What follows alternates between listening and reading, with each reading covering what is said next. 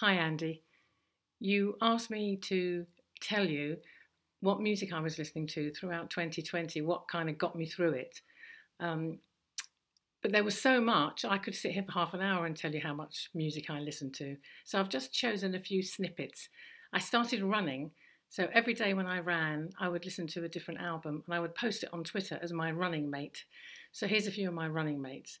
Um, the first album that really got me was Western Stars by Bruce Springsteen. It's his sort of Glen Campbell esque album.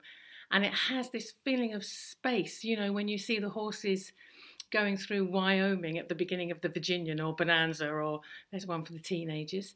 Um, it just gives you that feeling of space. And I think we all felt there, there was no space. We only had our own little space. And um, so that made me feel good while I was running. And I kind of went through genres really.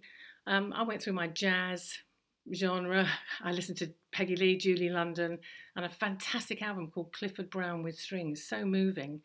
Um, and soul, you know, Lake Street Dive is a band that I really love.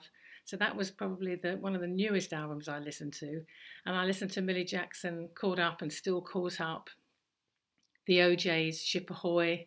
Um, a, lot of stuff from from my youth I listened to actually, um, because I think we were all reassessing everything and who we are, why we're here, and how do we get through this. So th- those are the main ones. I'm looking at my list now. I mean, I did listen to uh, Free Design. Uh, that's my hippie phase. Free Design and the Beach Boys, and um, but I think if I had to choose one of them, it, it would probably be uh, Western Stars. Thanks. Bye.